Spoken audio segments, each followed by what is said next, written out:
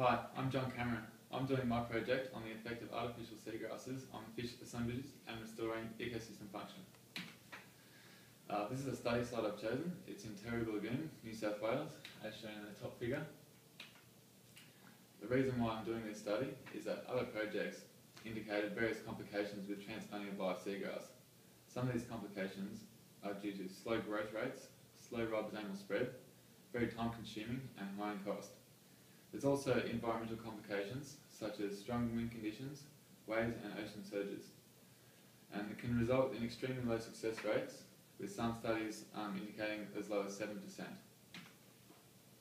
This study will involve assessing whether ASUs will have an effect on total fish abundance and whether ASUs restore ecosystem function by analysing the percent stomach composition.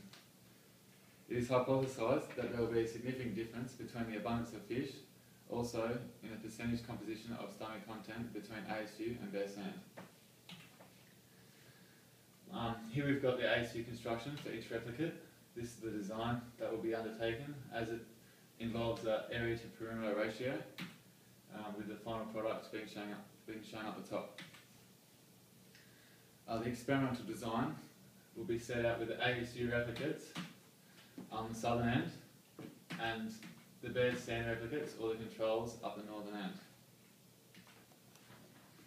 The sampling of fish will be conducted with a 10 metre by 1.2 metre seine net with a uh, 10 millimetre stretched mesh and the fish stomach content will be removed and soaked in 70% ethanol prior to analysis. The content will then be analysed by percentage contribution. In conclusion, seagrasses are an important and vital aspect of the estuarine environment, providing critical habitat and food source for many marine species. Due to population increases, a decline in water quality, seagrass, seagrasses have been put under additional stresses. Seagrass rehabilitation seeks new avenues to increase and restore ecosystem function, uh, with ASUs providing a, a good alternative to look into. Thank you.